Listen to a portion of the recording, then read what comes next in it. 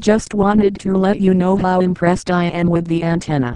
I've tried the Antop PL414BG ding ding ding number W82608, Channel Master Omni Plus 50, and Antennas Direct Clearstream 5.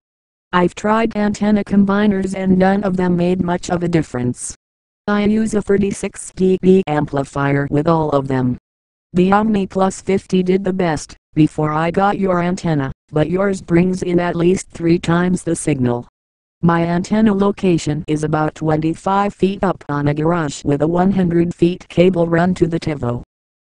I have a very challenging location.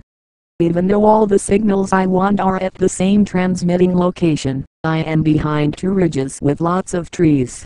Most of the stations I am interested in are listed as high V and are classified as a two-edge signal.